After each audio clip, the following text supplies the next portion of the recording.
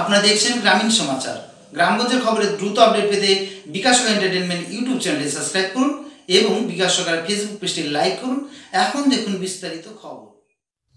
অজানা জন্তুর পায়ের ছাপে আতঙ্ক ছড়িয়ে পড়ে এবার জলপাইগুড়ি শহরে। প্রাথমিক অনুমান করা হচ্ছে এটি ভাল্লুকের পায়ের ছাপ, যাকে ঘিরে আতঙ্ক ছড়িয়ে পড়ে জলপাইগুড়ি জেলা শাসকের বাংলো সংলগ্ন এলাকায়। মূলত তিস্তা উদ্যানের এ ধরনের পায়ের ছাপ দেখা গেছে। ঘটনাস্থলে বন দপ্তরের কর্মীরা পায়ের ছাপের সাথে রক্তের দাগ দেখে প্রাণীটি প্রাথমিকভাবে আহত বলে মনে করছেন বনকর্মীরা। ঘটনাস্থলে পৌঁছেছেন ডেপুটি ম্যাজিস্ট্রেট অরিন্দম বিশ্বাস। আপনাদের দেখাবো বিস্তারিত। চোখ রাখুন নিউজের পর্দায়। জলপাইগুড়ি থেকে মন্দিরা দাস রিপোর্ট, গ্রামীণ সমাচার। তুমি হাত দিয়ে দেখাও তো।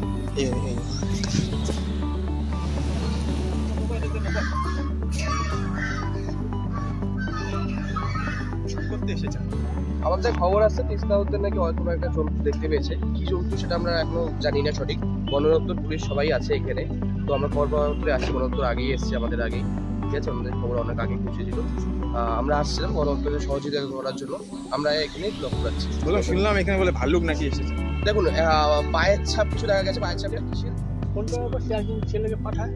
মানে উনি জানে সে আর কি বলল যে সম্পর্কে ভালো আতঙ্কে রয়েছেন? আমরা তো আতঙ্ক থাকব দাদা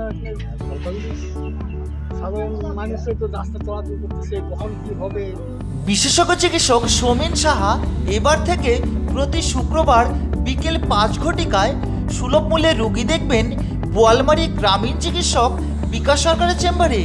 যোগাযোগ করুন mobile number nine double zero two triple four seven nine five.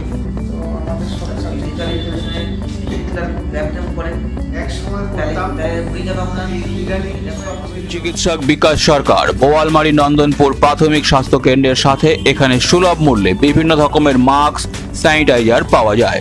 Mobile নম্বর নয় শূন্য শূন্য দুই চার চার চার সাত নয় পাঁচ।